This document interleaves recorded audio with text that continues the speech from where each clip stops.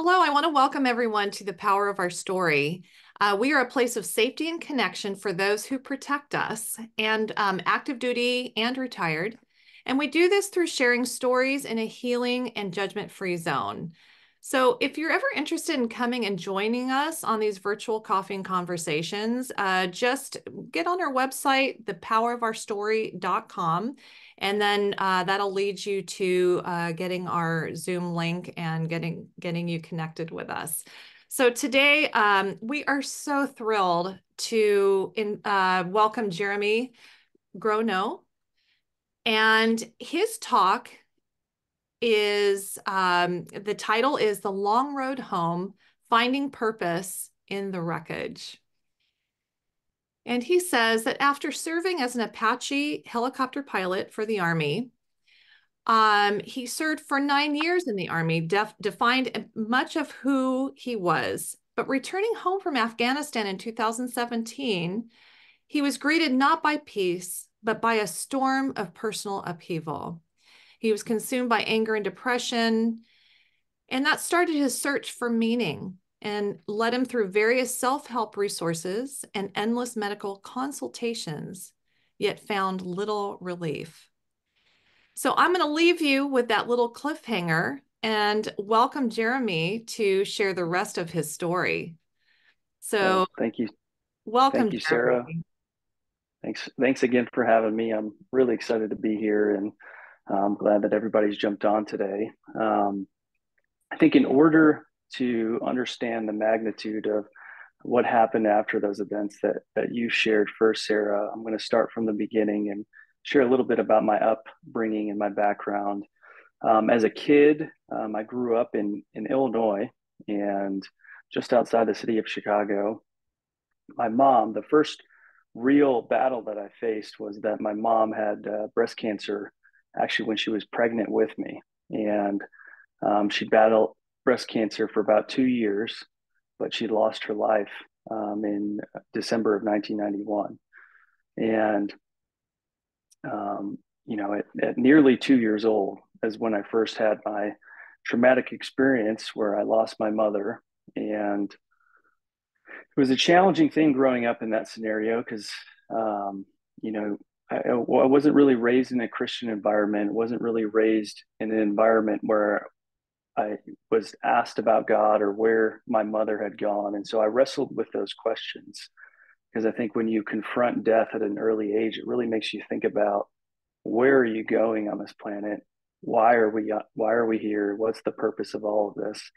And so I wrestled with that quite a bit growing up, and um, knowing that from from the very few people that would talk about her because I think a lot of people, um, you know, my grandmother and a lot of her family struggled with talking about her um, because of the pain that they dealt with in losing her at 32 years old. And so I didn't really know a lot about my mom growing up uh, outside of a few stories. But what I did hear was she was an amazing woman. She was a social worker working with young children and really wanted to make an impact on people's lives. Um, but I, it, it really it really battled my view of God because the question that I had is why would God take somebody so good away from me at such a young age? And uh, you know, I think that struggled my brother and I. I have an older brother. He, him, and I battled that because we were raised by my father and, and, a stepmother in an environment that um, was kind of a struggle, to be honest with you. And uh, we were exposed to a lot of things that I think a lot of kids should not be exposed to at, at young ages. Uh, there was a lot of drinking, a lot of arguing, a lot of fighting between my um, my father and my stepmother, and so it was kind of a tumultuous uh, environment to grow up in. And so, you know, the questions of well, why God and why did all this happen really stuck with me. Um, and so, at a young age, I, I was taking on trauma quite a bit and i didn't have good coping mechanisms i didn't see people around me that were dealing with healthy cop- coping mechanisms and, and dealing with their own suffering and so i think honestly growing up in that environment is part of the reason why i was attracted to the army because i was used to the chaos um, you know uh, used to kind of fighting for my own and you know, trying to prove myself in an environment like that. And um, when I was in um, when I was in college, my first year, I kind of followed the path of w- what I saw growing up and got into drinking, got into partying my fr- freshman year of college, and I just felt empty in that. And after about a semester of doing that, I had played varsity sports in high school, played sports my whole life, but in college, I didn't play, and so I felt like a that that team aspect was missing in my life. I didn't have that anymore, and and the satisfaction from drinking and partying wasn't doing it for me. And I actually, uh, a, Mar- a Marine recruiter was on base and walked by me, and uh, my friend, and I actually went to a Marine recruiter first and was going to sign up for the Marines because I thought it would be a, a good thing to to change my life and try to do something for our country because you know I think everybody who's you know in, in, my generation and a little bit older saw what happened on September 11th and wanted to to meet the call of doing something bigger than yourself. And so I went to the Marine recruiter. Um, they told me I would have to miss a semester of college in order to go to the, the basic training and come back and, and finish an ROTC program. And I was like, I, I knew deep down that if I skipped a, a, semester of college, I probably wouldn't go back. And so I actually went to an, an Army recruiter, and they had uh, what's called an SMP program that allowed me to go to basic training during my summer and then come back and be in the reserves until I graduated and then go active duty. So that's actually the reason I chose the Army. Um, so I joined the Army. I really had no idea what I was going to do in the Army, but fortunately, in the neighborhood that I um, lived in while I was in college, I had a, a friend who was a National Guard a Black Hawk pilot, and he invited me up on a flight. Um, this is probably a year after I was in the military. He said, "Hey, we're going up on a training flight over Lake Allatoona in in the North Georgia mountains." Because by this time I was I was in the South. I'd moved around growing up and, and landed in Georgia. And so um, I said yes. I mean, who doesn't want to go on a helicopter ride for free and and and go fly around? So I I got in, and we flew around for about three hours. And by the time I landed, I had made up in my mind that this is what I was going to do. I was going to be a helicopter pilot. And so, I mean, I think it was the next week I signed up for ROTC at Kennesaw State University and had a specific mission of graduating and becoming a um, helicopter pilot. And fortunately, I had success in that and uh, ended up graduating in the top 10% in the nation. So I got to pick the job that I wanted, the branch that I wanted. So I picked uh, aviation and went to flight school. Was very successful in that line of work, and it was a complete shift for me after having that break of you know being in sports and being successful in sports to kind of me- meandering around trying to figure out what I wanted to do and then having a purpose in all of that. And so, um, you know, when I had that goal of becoming an Apache pilot, I was all in, fixed on that, and I made that my goal and uh, was happy to achieve that. Went through flight school and ended up actually meeting my wife while I was in flight school. She was coincidentally uh, on a date with a Marine when I met her. Um, but that's a whole nother story. But um, so after flight school, we um, I, I picked my duty station as Savannah, Georgia. So I got to pick Savannah, Georgia as my duty station because I wanted to stay here in the South, which is 3rd Infantry Division.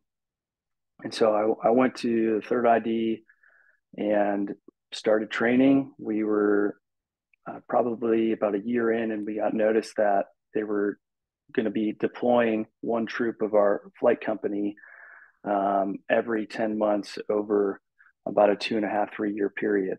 And so I actually volunteered for the third deployment and um, was selected as a platoon leader to get to go overseas with a company of Apache pilots to go to the eastern portion of Afghanistan. And by that time, it was about 2015.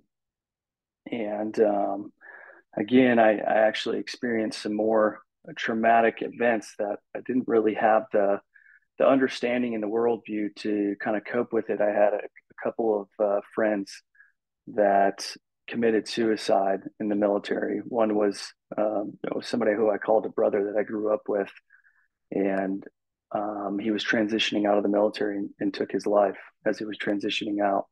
And then I had another friend that uh, was kind of pushed too hard, I think, and um, took his own life as well. And so I was wrestling with that. We had a pretty heavy training program leading up to the deployment. We were gone probably, I don't know, four months out of the eight months leading up to the deployment. So it was a pretty high stress scenario leading leading to that. My wife was also um, a couple months before I deployed. She fortunately got pregnant, and so we had a lot of things in the works. And but I was hard set on this. I wanted I, I signed up for a reason. I wanted to deploy. I wanted to be able to serve my country, and you know there wasn't anything else that you could do to change my mind on that. And so deployed, went overseas. You know, we were um, in pretty heavy use at that time. Um, there was a restriction on the number of uh, soldiers that were allowed overseas. I think it was Obama had it set at 10,000. So aviation assets were um, pretty heavily valued um, during that time period because there weren't a lot of people over there. And so all, everybody in special operations wanted Apaches overhead um, to obviously protect them and, and have another person to do reconnaissance while you're going in and getting targets. So we were we had a pretty fast uh, operation tempo and uh, we were flying every pretty much every night um, but again there was there was other things going around in the background um, while i was overseas my wife was eight months pregnant she ends up losing her mom and she she suffered from alcoholism for a long time and it finally took her life when she was uh, when my wife was eight months pregnant. And so I'm in Afghanistan. I get a Red Cross message that my wife's in the hospital and my mother in law just died. And that was kind of, it was pretty eye opening for me. Uh, I, I struggled with that. I didn't know what to do. Um, at that specific time, we had two other people in my company that didn't get sent home for the births of their their babies, and so I wasn't planning on getting to go home because the aviation assets were in such high demand. Um, but because her mom died and because she was hospitalized, they let me go home for two weeks. So they said, "Hey, you got two weeks. We're going to send you back home, but we need you back on a flight because we, you know, we don't have enough assets over here to to meet the mission demand." And so I, fortunately, through that traumatic event, was allowed to go home. Um, before I get to that, I, I missed one part of the story. Um, when I had first gotten over to Afghanistan, you know, I really I was faced with death again in my life, where you know within the first couple of missions, I'm seeing people die right in front of my life or right in front of my eyes, and it was uh, it was hard to uh, when you're on mission, you're focused on getting the mission complete, but when you get back to base and you're thinking about everything that just happened, it's when you have those thoughts bubble up and you're thinking about you know what just happened. And the thought that i could not get out of my head after that first time was where are you going to go when you die and that was something that repeated in the back of my mind over and over again where are you going to go when you die and it, it got me to the point at this point in my life um, i was not a christian i would not i would not be i would not be one to say that i was a professing believer um, I was never exposed to Christianity growing up. I think I went to church maybe a handful of times by the time I was at this point in my life. Most of them were for weddings and funerals. Never really had a relationship with God and would at best call myself an agnostic. I think I had a view of things to where I thought there was a higher power, power, but I didn't know who he was. And for some reason, it definitely wasn't Jesus. That was, I made my mind up on that. It definitely wasn't Jesus. So but God had a different plan on that. Um, so one night after getting home um, from a flight and all of this other chaos was going on, I was in my my room um, on base in Afghanistan, and I just I had this urge coming from within me to pray, and I was thinking to myself, like, I don't even know how to pray. How do you pray? but I had this like feeling that I needed to pray. And it, it had been, I don't know, over a decade since I've gotten down on my knees, but I got down on my knees that night and um, I said, God, if if you're real, I need to know that you're real, and uh, I need you to help me get home to see my daughter be born and be there for for my wife, because at this time I hadn't I hadn't gotten news that I was going to be able to get to go home. So I got up, went to bed, and I was on night shift because all the missions that you do over there were at that time were, were done at night. So this was six in the morning. I go to bed, I wake up, you know, later that afternoon, come into the crew shack, and um, as I walk in, some of the guys that were getting off shift were like, "Hey, you know, we noticed um, some strange activity in the Chimkani Valley. We need you guys to go do a reconnaissance mission up to the north." this wasn't anything really out of ordinary. We were doing recon missions all the time, and so I didn't really think anything of it. Um, so we load up, get on, um, get on our way up to the north to the, the Chimkani Valley, where we were at on the eastern side of Afghanistan, um, right near Pakistan. We flew up into this valley. We it's probably 14,000 feet peaks on both sides as you enter into this valley. And we get in and we're looking around, and at first we didn't see anything. And then off in the distance, we see this flashing light. And at first, first thing you think about is, hey, that's a muzzle flash. We got some somebody shooting at us. So we start doing orbits. We start drawing closer um, t- towards that target area, and the flashing lights continue to happen again and again and we're trying to figure out where this is coming from. You know, we're radioing that hey, we're we're in contact, we're receiving fire, and we keep going deeper and deeper into this valley. Um, well, it turns out that light was actually a strobe light at the end of the valley, and they were setting up a complex air ambush on me and my wingman. And so they drew us into the valley, and then as soon as we were halfway into the valley, we started receiving fire from probably about five different locations in this valley. And this was the first time that the contact was not directed from ground to ground, but from ground to air. And so they were planning to shoot one of us down. And we are flying around trying to figure out where all this enemy fire is coming from. In these high mountains, it's very difficult to find people, um, especially there's trees and dense vegetation all around us. And so I'm backseater, so I'm the pilot of the second aircraft, and my front seater cannot find any of these locations. We're passing off targets from each other and trying to get him to look further, but he can't see anything. I finally break off to the north and try to come over a ridge line to get a better view from where we're taking fire at.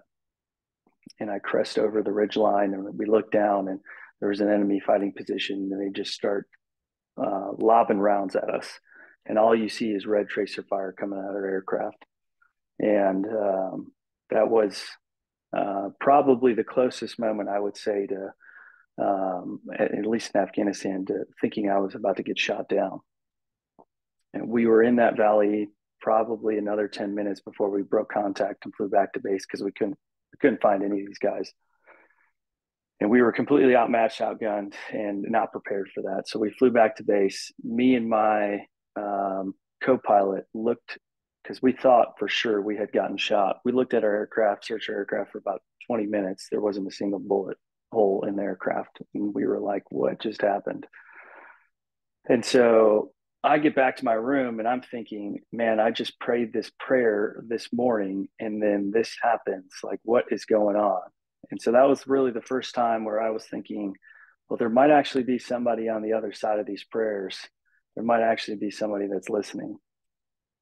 And um, it, I think it was a couple weeks later that I got news that I was actually going to be sent back to go see my wife. She had been, she had gotten out of the hospital by then, um, but they were sending me back for two weeks to go see her.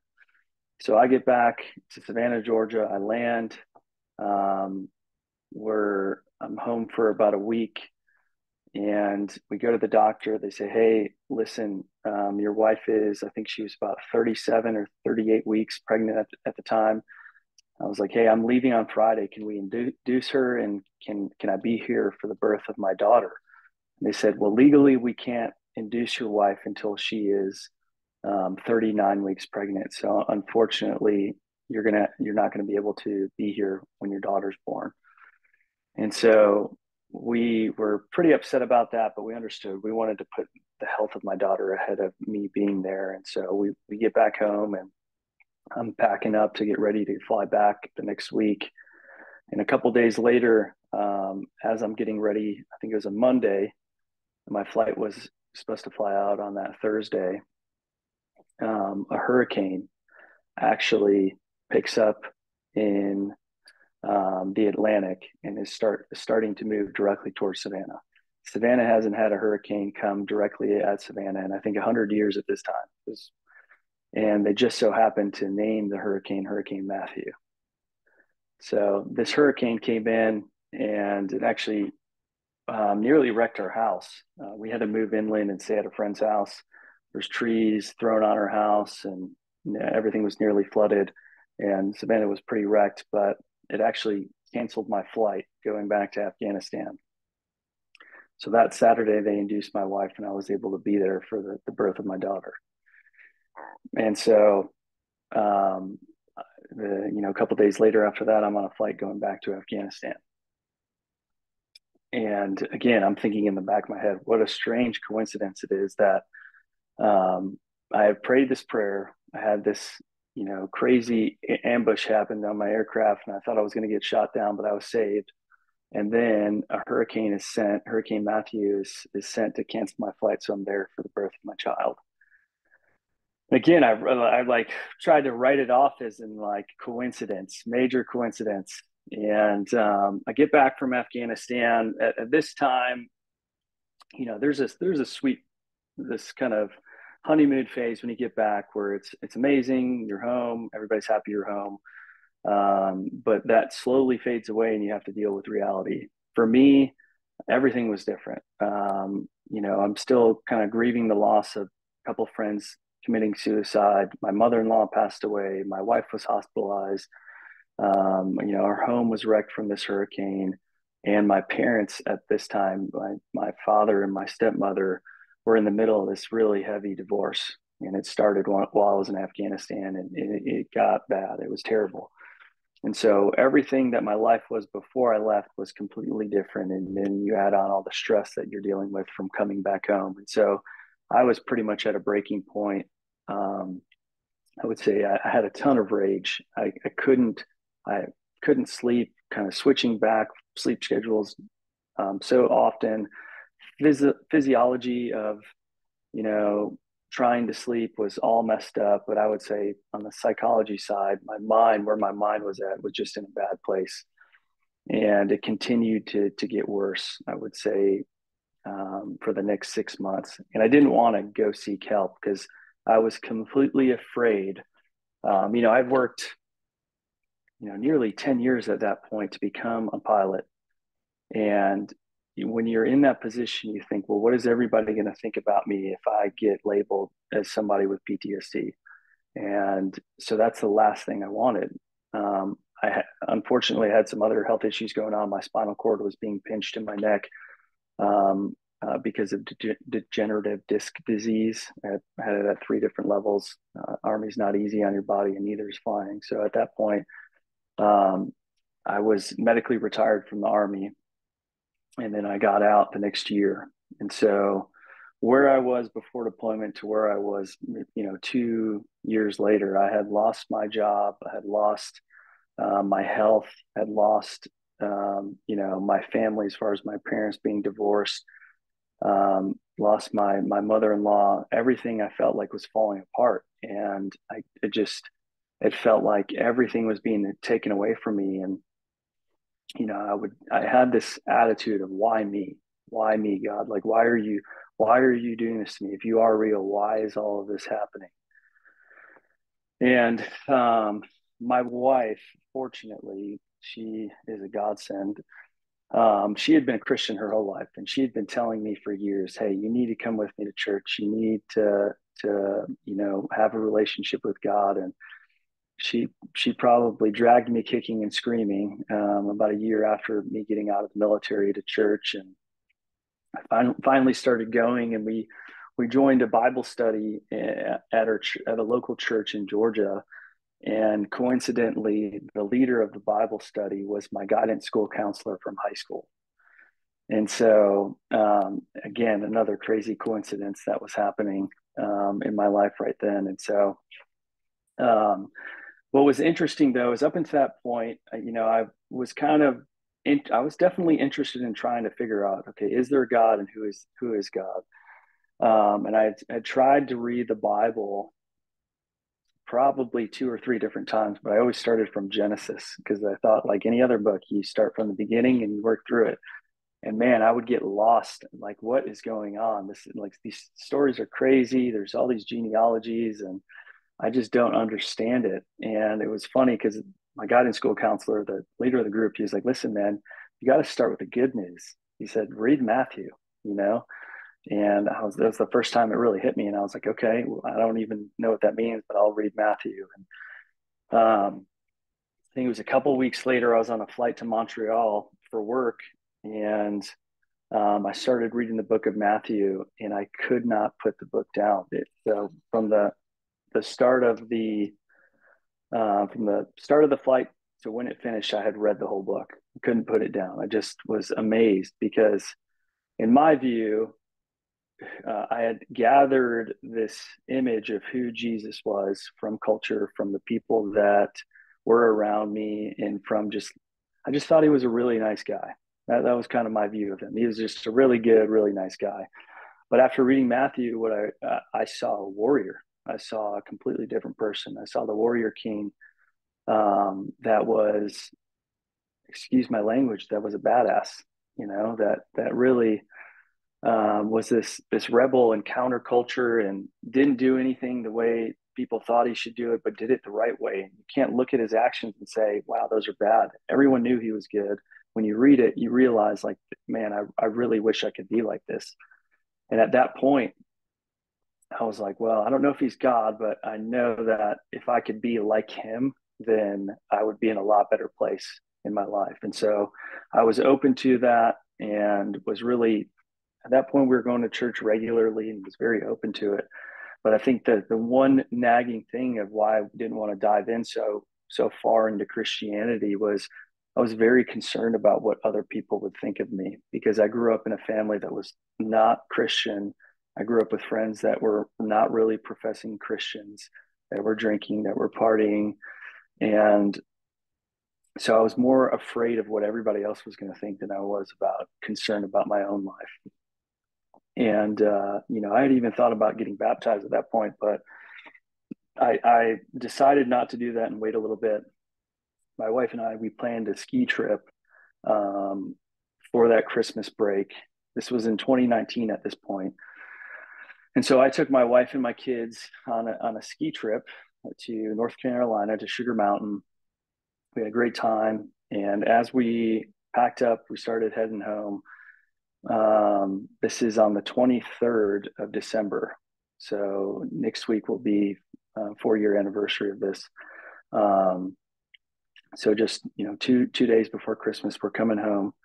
And uh, we always, anytime we would go on a trip, my wife would always make us stop and get a Christmas ornament. She loves getting Christmas ornaments. And so we passed this place and um, this big Christmas ornament shop. I'm like, I turn around, go back, and so that way we can get a Christmas ornament. We get out of the car. There's thousands of Christmas ornaments. My wife's looking around and she decides to pick out an angel. So she buys this angel Christmas ornament. We're about to get back in the car. She looks at me. She says, Hey, do you want me to drive? And I said, No, I got it. So I got back in the car. I refused. I said, No, I got this. Got back in the car, start heading down the highway. She knows that at this point, um, I would say because of untreated PTSD and anxiety, I'm one of those type of people that um, I would easily get stressed out, and I was always in a hurry. Was always in a rush. I just had to get home. I had to and so I think that was her nice way of saying, let me drive so you can relax in the car. you know, I was like, no, I want to get home. I want to get home as quick as we can and, and then just rest. Well, not even five minutes down the road, we're on the highway. I'm going probably 10, 15 miles an hour over the speed limit. It's drizzling rain. We come around a turn, we hydroplane, and we hydroplane at about 60 miles an hour right into a tree. The last last thing I remember was screaming out loud, uh, "Oh shit, Amanda!" to my wife. That's my wife's name, and it was the most jarring impact explosion that I've ever experienced in my life. We impacted the tree at 60 miles an hour. Um, I was knocked unconscious. Um, the parts that I'll tell you right now had to be told to me, but my wife, she actually put her hands up, broke both of her hands on the uh, dashboard. She saw me hunched over the vehicle. She thought I was dead because I was non-responsive and wasn't moving at all. Um, she had lacerations from the glass. My daughter, who's in the back seat, who's three years old, she had a brain injury. My son had broken a rib rib in the car accident, and um, the car was smoking profusely. It was about to catch on fire, but fortunately, it was right across the street from um, this landscaping company, and they just so happened to have a couple employees that were getting ready to leave that were still there. And so they ran over. One of them had an axe broke out the back window of the call, car. They called the police, and they got my kids out of the car. And the the fire department had to come in order to get my wife out because she was stuck in the vehicle. And then it took them 30 minutes with the jaws of life to pry me out of the vehicle. Both of my legs were crushed. My right leg was fractured in about 30 places. My right foot was completely dislocated. I had um, shattered my um, left shoulder socket, collarbone, four broken ribs, I had a collapsed lung, severe brain injury. Um, and uh, I was in really rough shape, really rough shape. The first thing I remember after the car accident was just hearing grinding sounds from them trying to saw open the vehicle. And I remember looking out the window and seeing what I call the look of death. I looked at the paramedic and he looked at me like I was dying, and he was completely shocked that I was still alive.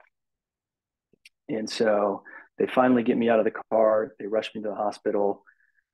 Um, I remember looking down. My my right leg was completely flipped over. My knee was over on the right hand side of my leg. So I knew I was in rough shape. We get to the hospital. The doctor comes up to me and he goes, "Hey, listen, there's there's not a there's not a doctor in this building that can put your leg back together." And he says it's extremely fractured. Don't know what to tell you. And so um, at this point, I've got all my clothes cut off of me. I'm in, I got like a blanket over me, but he, I have a army tattoo on my left shoulder. He looks at me and he goes, where did you, where did you serve? And, you know, I told him I was in third infantry division. I deployed to Afghanistan. I was at Fob Shank and I labeled a couple places that, I was in Afghanistan. He goes, I was at Fob Shank. And he later told me that he was a Air Force surgeon and it just so happened that him and I served at the same place in Afghanistan. Another coincidence. Um, but he says, listen, I did my residency with the director of orthopedic trauma at Grady. And he said, it's probably the best facility in the country that's going to be able to put your leg back together and, and, and put, put you back together, really. And, and he said, I don't know if I can get you in to see her because she's pretty busy, especially this time of year, but I'm going to give her a call. It just so happened she picked up the phone. She uh, made an appointment for me um, the next week, and they transported me in an ambulance to go to Grady to get my leg fixed. Um, so the next week, I'm in the hospital. It's early morning. I'm getting ready for my um, I'm getting ready for my operation and I'm sitting there waiting to go in. And the, the, doctor had already come out to me. She told me, she said, listen, man, this as bad as this is as bad as it gets. Your your leg fracture is the top five worst tibial fractures I've ever seen. And she goes, I don't know if I'm going to be able to piece it together, but I'm going to do my best. And uh, she just she's like, I'm just going to shoot it to you straight. It's like this is as bad as it gets. I don't know that I'm going to be able to do what you want me to do, but I'm going to give it my best shot. And I was like, okay, well, I don't really have any other chances, so let's do it. So she goes back back to the operating room I'm waiting there and I'm just thinking like, man, this could be the last few moments of my life, you know? And so, uh, uh, like I had this thought, like you should take a picture, you should take a selfie. And I don't know why, but I took this picture and I took a picture of me. I had a little smirk on my face. It's on the email that I think you sent out, Sara, but I took the picture and put my phone down and they came right back to come get me um, for the operation. They started wheeling me in and um, as they wheeled me into the operating room, I apologize, that's the phone. Um, as they're wheeling me into the operating room, um, a familiar song comes on the radio, and it's uh, a classic rock song that is very iconic to me and very familiar called Spirit in the Sky. Um, and it's probably at this point in time i hadn't i didn't even realize that it was a gospel song because it's it's such a great classic rock song and um, but i started listening to the lyrics of the song for really the first time and i, I thought to myself the first words are when when i die and they lay me to rest going to go to the place that's the best. When they lay me down to die going up to the spirit in the sky. And i was just like this is such a weird song for them to play in an operating room as I'm about to have the most severe surgery of my life. And right as I had that thought, the doctor looks at me and he goes, Hey, it's a perfect song for an Apache pilot. And I was like, What is going on? Is he was he hearing my thoughts? Is um did they prepare this? And the song keeps going, going up to the spirit in the sky. That's where you're where I'm gonna go when I die. When I die and they lay me to rest, gonna go to the place that's the best. And at this point, I'm just thinking like either this is God speaking directly to me or this is the strangest coincidence of my entire life. And at that point, I just said, you know, I don't have, what do I have? You know, I'm here I am, I'm sitting in a hospital bed. I, you know, I'm no longer an Apache pilot. My, who knows if my wife is going to love me anymore after me nearly killing her and killing my kids. And I just felt so alone. I felt so scared. Um, and I didn't know what was about to happen. It was like I'm here, I'm moving towards this event, the surgery that you don't know what the outcome's going to be. You don't know if you're ever going to wake up again, and you got a few seconds left. And so I just started pouring my, I closed my eyes and started pouring my heart out to God. And I told him, I, I you know, I, I really don't care if you save my leg. I don't care if, you know, I wake up at all. I just, if I do wake up, I want to wake up with Jesus in my heart. And I said, Please forgive me. And I said, Father, into your hands I commit my spirit. And at this point in my life, I had never even read those words by Jesus. That's actually in the Gospel of Luke, that's not in the Gospel of Matthew. And I would later read that months later on, and it, it wrecked me to think that I knew to say that in my worst moment when I thought I was about to die and I had never even read those words before, but it just came out of me. And um, the song kept playing, and um, what's crazy is they put me on the operating room table. The song's still going. Um, never going to be a sinner. I've never sinned. I got a friend in Jesus. I just like keep hearing these lyrics, and right as they put the gas mask on me to put me out for the surgery, the she tells me to take you know a huge deep breath and you're going to be out. And so i put the mask on and i take a big deep breath. And that was the end of the song right as i was taking the breath. And then the last thought i had was did they rehearse this? Like was this rehearsed? It was so it was so crazy. And so i'm out. Um, the surgery went on for um, over eight hours. It took um, a steel rod, four metal plates, and about 35 screws to put my tibia back together. But I woke up from the surgery. I was actually in the ICU when I woke up because I had lost so much blood and had nearly had to have multiple blood transfusions. Um, but I looked down at the end of my bed and I saw two feet. I saw toes on both sides of the bed. So I knew. I said, "Oh, I got a, I got two feet, so I've got two legs." But it was the most intense pain that I've ever been in. It was like somebody took a, you know, a searing hot rod and jammed it through the middle of my leg. But I was alive. I had both of my legs, and it was, you know, as, as happy as you could be with the most pain you've ever been in. I was, I was there. Um, they, a couple hours later, when I finally, you know, kind of woke up and got off you know, the anesthesia, I had another thought come in my head, and that it was go look at the picture. And I went and looked back at the picture. And if you've seen the picture, you can look at it.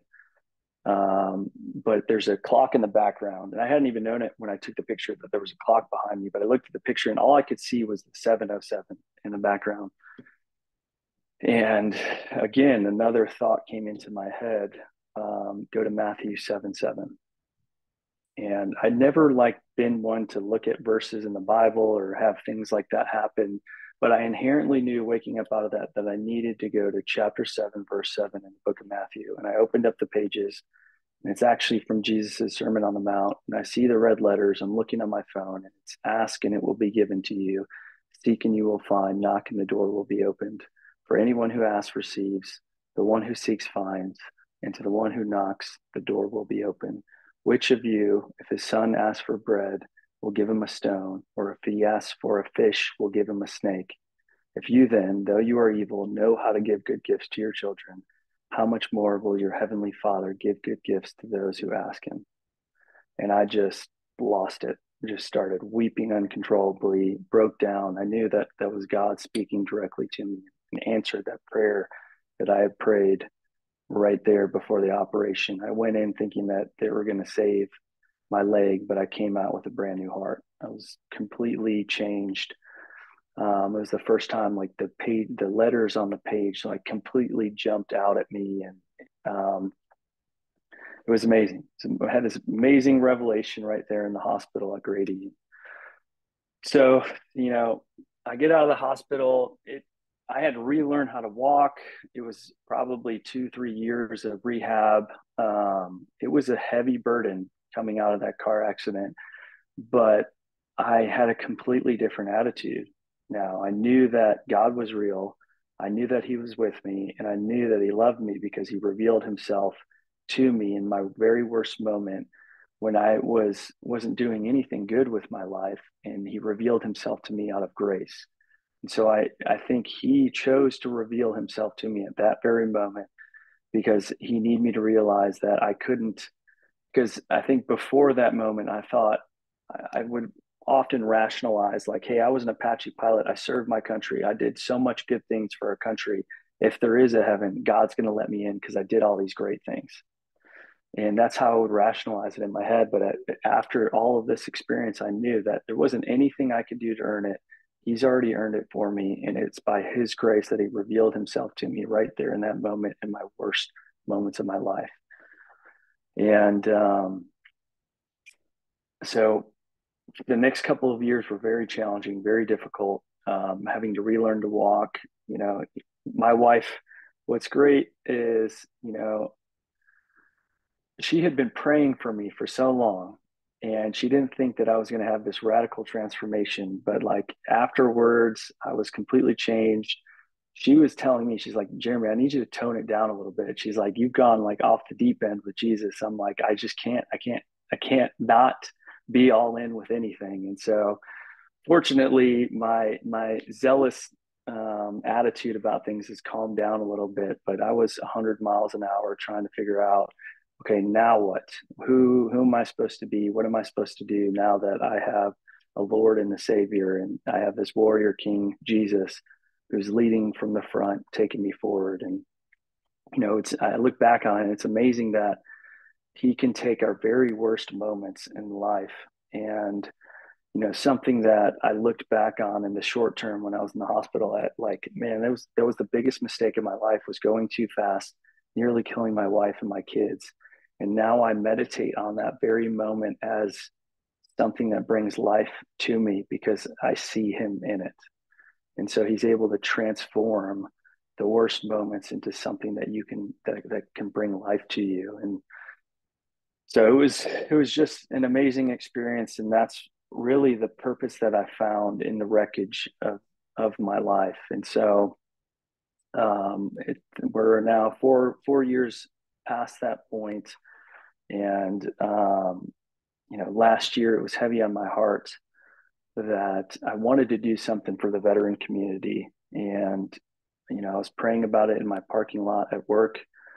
Um, I was I was working at a company that made software for so, presentation software for churches, um, and I went inside to work. I, I, had just prayed like, "Hey, God, you know, if there's something you want me to do, or there's anything I can do to help veterans, please, you know, please show me." So I go into work. About an hour after I prayed that prayer, um, I actually get a message from our COO, and he goes and he sends me a message. He says, "Hey, listen, these guys just bought a license of ProPresenter. That's the software, and I think I think it was really cool the message that they sent. And the guy who purchased the license said, "Hey, we wouldn't be able to do what we're doing um, for high risk veterans who are coming back from war." Um, our ministry is Operation Restored Warriors, and you know, thank you guys for making your software and he's and my COO at that time had never sent me any sales information. Any I've been working there for three years. Never sent me anything about anybody who's purchased a license our software, and he decides that day to send me um, an organization that is helping veterans. And so I reached out to them and went to one of their what they call drop zones. It's a healing, um, really a healing retreat, and um, experienced amazing healing through it through it at the beginning of this year and had really felt God leading me in a different direction. And so about halfway through this year, I, I ended up um, quitting my job. I started a graduate program at Liberty University in pastoral counseling and crisis intervention and trauma. And uh, my wife actually got pregnant with her third child. So had, had a lot going on within a short period of time. But um, really, the highlights of my story are that if you're going through suffering, if you're going through bad things, I think the the verse that I reflect on is Romans 8, 28, which is God brings all things together for good of those who love him and are, are called according to his purpose.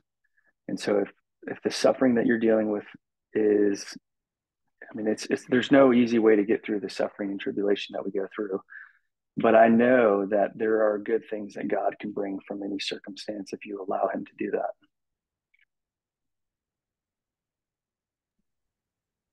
What an amazing story. I mean, talk about beauty coming from ashes and then, you know, um, just the way also that you were just built into a warrior before you even knew Christ. I mean, it's it's amazing how he has equipped you in so many different ways. Thank you so much for sharing your story. That was really inspiring. Um, I do want to open it up to everybody. I, I just, I'm very curious. How is your, how are you and your family physically? So physically, um, I'm in the best shape that I've been in since the car accident. I still have some minor issues with my foot and my right knee. Still got a lot of hardware in my leg, but um, as far as where I'm at physically, I'm I'm in great shape considering everything that I've been through. So, um, yeah, it's it's amazing. Most people have no idea that I've been through such a traumatic experience and um, really bad leg injury I walk pretty much normal now. I'm, I'm able to run. I work out five, six times a week, and I'm able to keep up with my kids as much as I can. So we're all doing good. We're all doing good. So thank you for asking. That's incredible. That is incredible. And when is your third due? So third is due a week before my birthday next year. So first week of February. Oh man, that's so beautiful. I'm so happy yeah. for you. Jeremy, what a thank great you, story. You. And I think so much there to inspire, I mean, anybody to be curious, you know? So thank you. What a story of hope. Um, I'd love to open it up to others to comment or question if you have your little emoji and want to let me know that you want to say something. Oh, Barry. Mm-hmm. Yeah, Jeremy, thanks. You know, when when I sit here and I think we're having these conversations, you know, my, my generation in my time, as I've said, from the Rhodesian Bush War in the 70s, you know, we're all in our 70s now, and and we had no clue about anything. We we would have never had a conversation like this. And it's only at this stage of our lives where even now I got a message, you know, half an hour ago from an ex-SAS Rhodesian boy, you know, in hospital with severe PTSD. We've suffered. And and when I listen to your story, I, I also reflect back on I don't know if you've come across Dan Sheehan. He was an Apache. I have, yeah. And Dan and I were talking many years ago because we were both looking at what we can contribute to the veteran community. And I was looking at transitioning and what and a book to write on that. And Dan was writing his on journaling. And and I think what you really bring to me is that there's there's three layers between operational experience and the present moment. There's the regathering of who you were. There's the the process of faith, whatever that may be, and and and certainly in your case, um, it's a struggle. You know, we sometimes dragged screaming uh, and in pieces into faith, but faith can take a while to get to. And and the, so the next question is also, what do we do in the space between finding or not finding faith and learning how to reintegrate and work with what's happening in our bodies and our souls as we're in that process. And outside of your kind of almost that dragging into faith, what were the things that helped you um, in that process? Or was it just the experience of suffering and fire, which is pretty much my generation, because we knew nothing about tools and we knew nothing about trauma? Um, what worked for you that others can share while they may or may not be finding their faith? Yeah, that's a that's a great question, great input. By the way, thank you. Um, I think you know one. If I have one really strong attribute um, that God has blessed me with, it's the fact that I don't give up. Mm-hmm. And um, you know, throughout all the chaos, throughout all the pain, I've never I've never given up. I've never thrown in the towel. Yes, you have moments. I think we all have moments where I like I remember after the car accident, I, I would pray a couple like very often to God just take me home, just take me out of here because the pain was so intense. And um, you know, fortunately, he didn't answer those prayers. And uh, I think two things that helped me through that that struggle the most is one, like I said, the ability to keep driving forward. I think you've, you know, I, have heard it said by uh, by a friend that you know when you're walking, it's a, the Bible says to walk through the valley of the shadow of death. It doesn't say to camp out there. We need to keep walking, you know. Um, and so I've always had the mentality of you know it, it even though it looks like the house is burning down and everything is in pure chaos around you, you have to keep moving, keep making decisions, even if they end up being the wrong decisions. You got to keep going. And so, fortunately, I've had that attitude where I will keep moving no matter what is happening. And um, I think the other thing that I would, I would, I wish I would have, I wish I could have had this before the car accident, but it took the car accident for this to happen was to be to be honest with yourself and be honest with God. I think I was very afraid. I was more afraid about what everybody else was thinking of me than I was at really getting to know who I was as a person. And I let the influence of other people drive the decisions that I made in my life. From my family, I was like, I don't want to be the the white sheep in the black sheep family, or in front of friends. I don't want to be the, the crazy Jesus kid. Um, and I let that drive my pursuit of truth, as opposed to opening, you know, app, you know, fast forward through the car accident. I didn't care what people thought of me. I mean, I like I had some terrible experiences in the hospital, and you know, at that point, you you just when you're in that much pain, you just don't care what people think of you. And so I, I think it was a blessing in that I, I quit caring and just poured my heart out to God and just was completely honest with Him and was brutally honest with myself. Yeah, thanks a lot, Jim. Thank you. that is very intense. I'm trying to imagine everything that you're sharing. Um, I think I want to use a, a minute just to say, with everything that Jeremy is sharing, he is actually going to start a book of Matthew Bible talk um, January 10th, Wednesday mornings at 8, 8 a.m. Pacific Standard Time, which anybody is welcome to come on. You know, whether you feel like you have no idea about the Christian faith or those of you who do, you know, know the Bible, you are all welcome. And I also want to say that Barry Swarenstein also, um, we're talking details actually in a few a few few hours, but um, he is going to come. He's written a an amazing book. Um, Which way is your warrior facing? Is that correct, Barry? Do I have the title right? Yeah, yeah, it is. It's it's I call it an operational manual for transitioning. So it just yes. I got tired of psychobabble. I'm I'm a psychologist and I got tired of my kind laying their reps and their tools on veterans. And what I wanted to do was go back into my sitting with veterans over 22 years and my own experiences. And I realized that all the tools were already in their language and just that my kind were not bothering to figure that out and enter their territory rather than the other way around. So the book is is grounded in in the military. it, it is fantastic. The excerpts that I have read and everything that you're sharing. Um, again, Barry Swarenstein for the transition process and Jeremy for building faith and hope. I, I am so thrilled to have you both um, added to our tribe in facilitating groups. Um, I, I'm excited to see all the support that our protectors can have in, in this um, arena.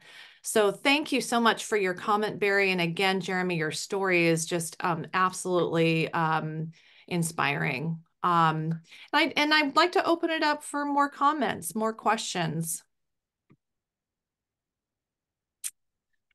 It's one of those deep stories that we have to process. Rick. Wow. Well, first, I just want to say thanks um, for having me here and and Jeremy for sharing your story. You know, it's one of those that gives you uh, goosebumps and and you saw some laughs and some chuckles because you know, so I'm not chuckling at the situation so much as I'm chuckling about how God operates.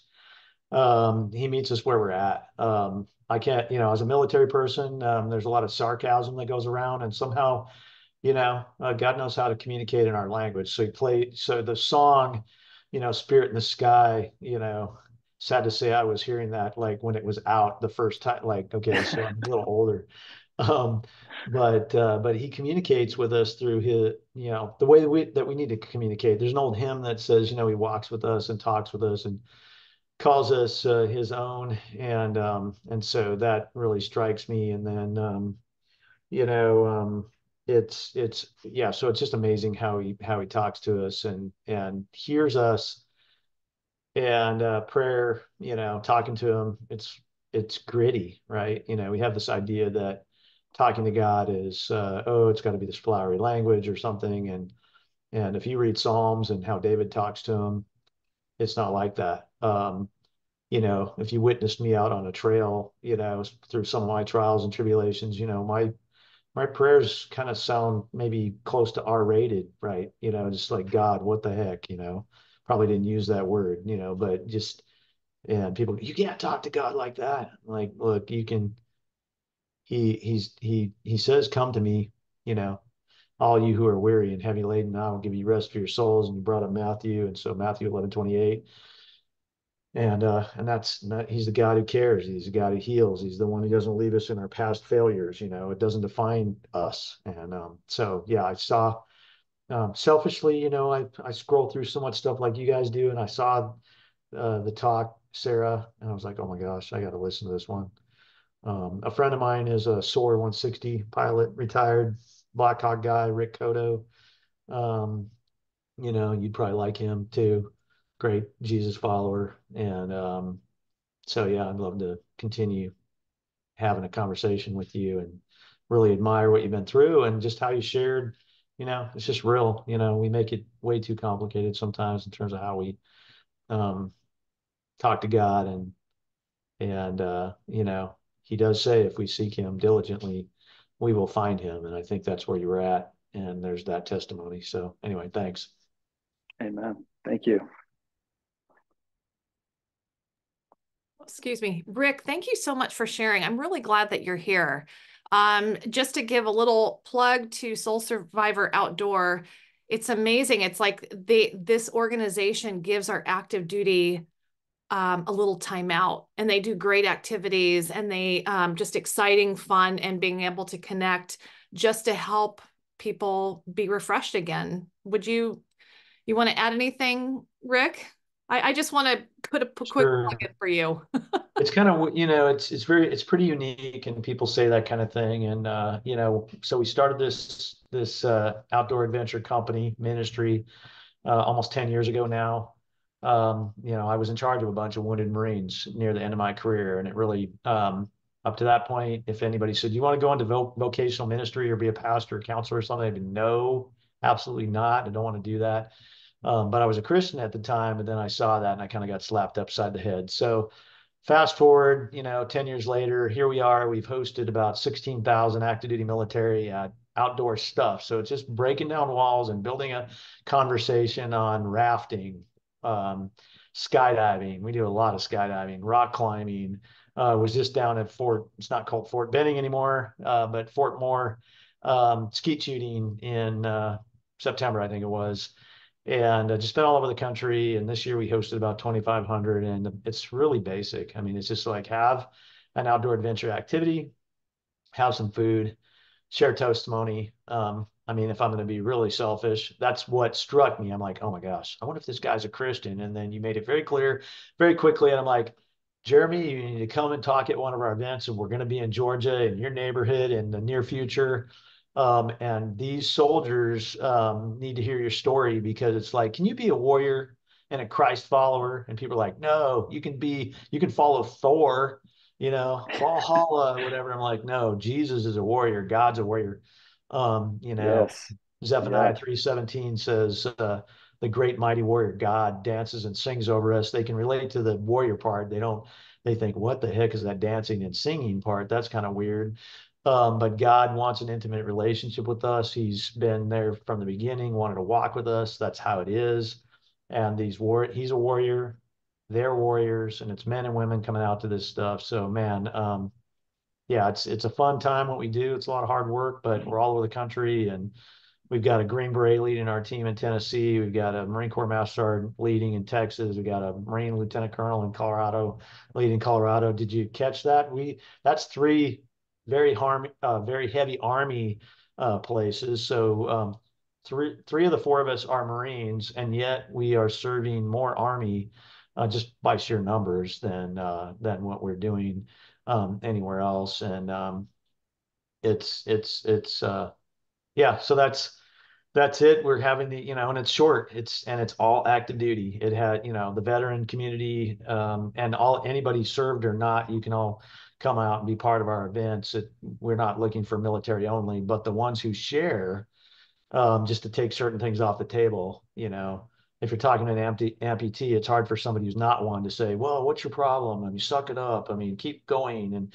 it's like you don't even know what you're talking about. So military kind of behaves the same way. It's, so if they can hear from a veteran or an active duty person a faith perspective in an in an engaging environment to just break that down and um, yeah it happens during the week military units are coming to us all the time. Can't even explain any of that. It's just a God thing because we're not that smart.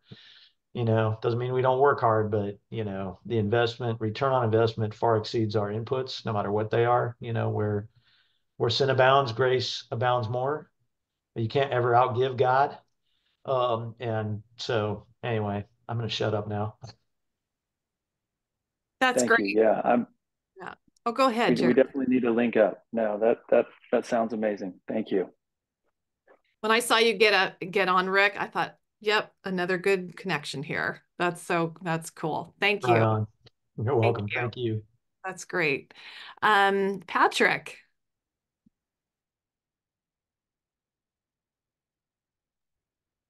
I just want to say thank you, Jeremy. I um, my expectations were high, and I knew uh, that you were going to bring it, but you exceeded them. And um, your your story, we talked this morning about coincidences and um, yeah, how amazing. I love how that came up, and yeah, I, I just thought I would roll with it since we were talking about that earlier today. Yeah, well, and it's so um, true. I'm I'm so excited for this to be published, so I can share it with some people who very much need to hear that. And there are people we talked about earlier who are on this amazing journey where they're starting to realize that these aren't coincidences. The amazing coincidence maker in the sky, yes. which is hard for a guy with a lisp to say, like me.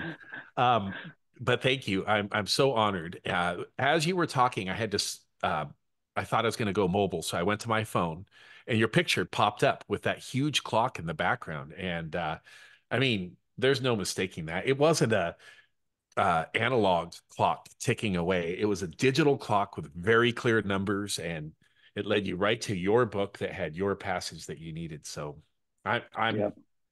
in awe of you and your story. Thank you for sharing. Thank you, Patrick. Thank you. Ooh, great comment. Thanks, Patrick. Catherine.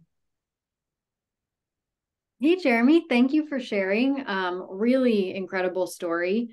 I um so I was raised Catholic, went to Catholic school my whole life, even the first two years of college, Catholic college.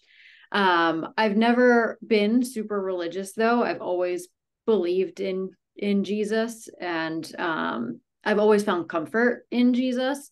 But I'm curious because as of late, I have been finding myself wanting to kind of learn more, less from a you have to read this because it's religion class perspective, um, more from a I'm curious and I want to learn more about Jesus and the Bible and stuff. Um, if you had any recommendations for me wanting to sort of explore that, such as, I mean, I don't know, maybe it's reading Matthew or just any sort of resources that you might direct me to that could help me explore this. For sure. Yeah, I think for me, um, were my mistakes and before I was a Christian and becoming a Christian was diving into the books without any context and just trying to read start to back on whatever book it is. And so I would highly encourage getting a good study Bible. I use the ESV study Bible. I like that's one of my favorite. But I also have the Bible app on my phone and I have probably five or six different translations. And so when I get to a verse that I don't understand, I try to read as many translations of that verse as possible that are good translations to try and understand the context in that. Also, when you have a good study Bible, it will point to, well, what does this verse mean in this context and where does it apply? Um, because really, the Bible is the first hyperlinked text to ever exist, in that there's references across the entire Bible. Um, when you know one verse is saying something, it's referencing something in the Old Testament, and you miss a lot of things if you don't understand that. One of my favorite teachers, um, who actually passed away earlier this year, uh, Dr. Michael Heiser, he wrote a book called The Unseen Realm um, that really opened up my eyes to the Old Testament and really trying to understand um, what are these stories about, how do they apply today, and how does it connect with the New Testament. So I would, uh, it's it's a long read, but you, I don't think you'll ever read your Bible the same again after you read that book. Awesome, thank you. Yeah, absolutely. Great question, Catherine. Thank you for asking that. Um, does anybody have any? Lisa, do you want to say something?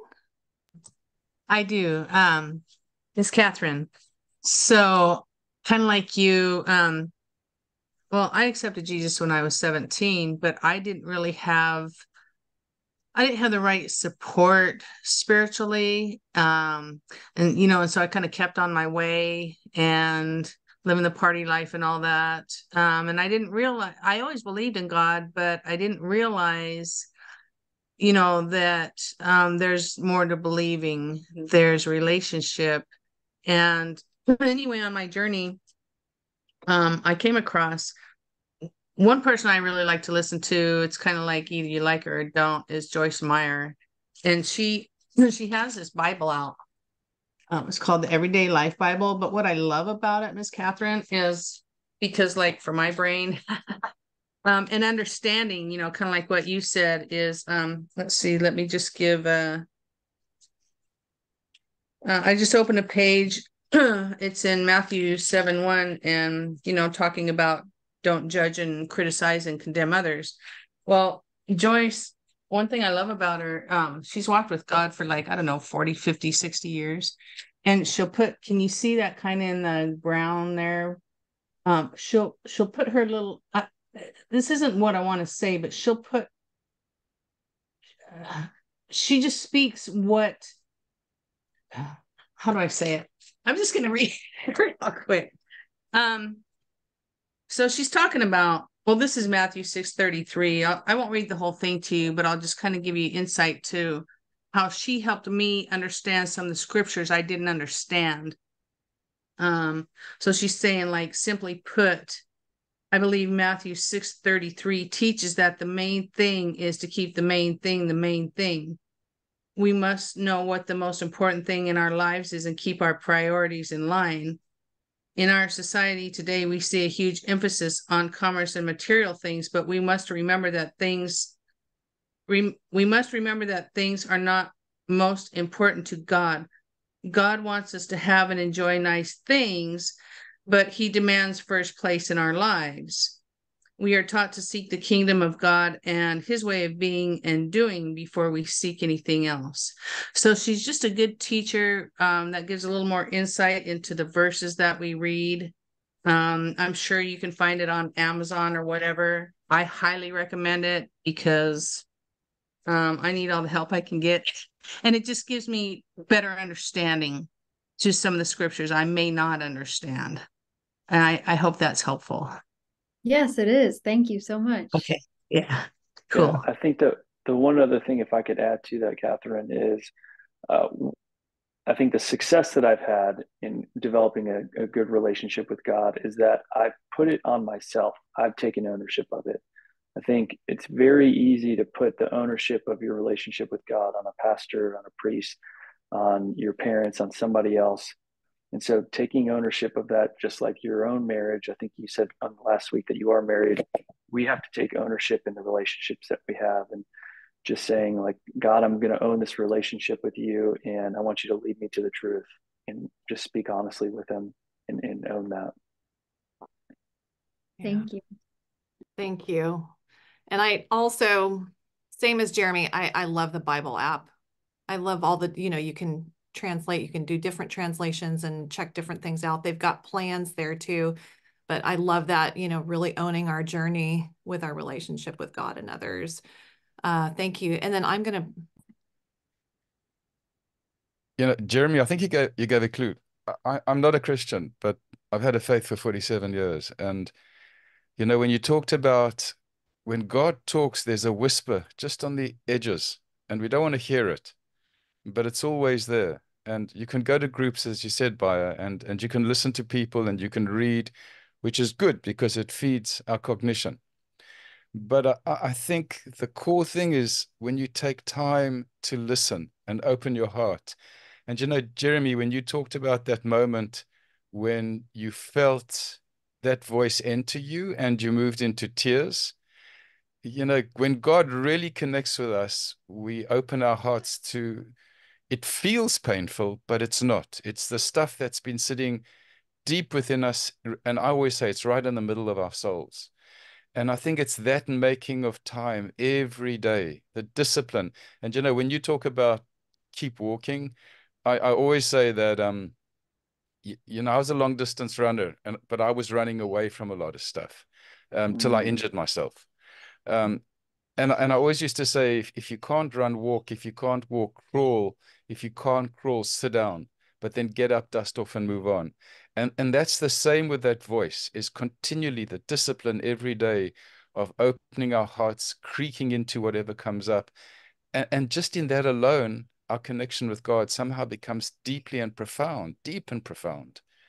So the only the only thing I've learned in my life is the making of that time. Yeah, the reading's wonderful, the gathering with people is wonderful, but just never getting caught up in the matrix of power and money and possession and greed, but every day to find that moment of silence to listen and open our hearts.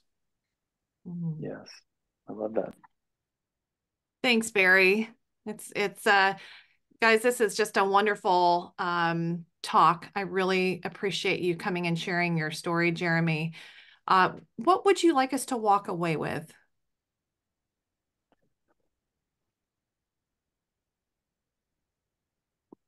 I think, like I said towards the end, um, really what I have learned through throughout all the experience is there is purpose in the pain. There's purpose in the suffering. There is purpose in the tribulation. And if you don't see it yet, keep going, keep moving forward, and keep praying to God that He reveals Himself and reveals what this is for. Uh, and keep praying that He gives you strength to continue through whatever it is that you're going through.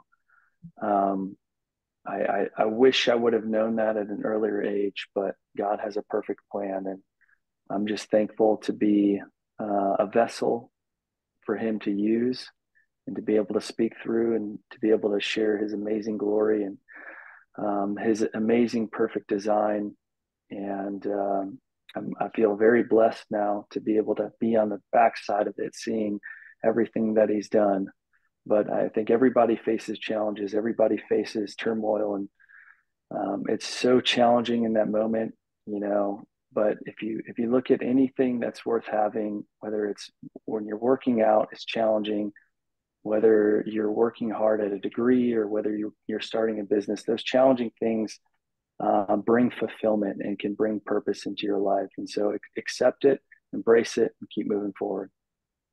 Excellent. So well said. Thank you so much, Jeremy. Uh, I, I, really appreciate you being generous with your story. I appreciate everybody's comments. Thank you so much. And this is going to be, this is the last core group happening for 2023. And I think it could not end in a better way. Thank you, Jeremy. Thank you so much. Thanks, everybody.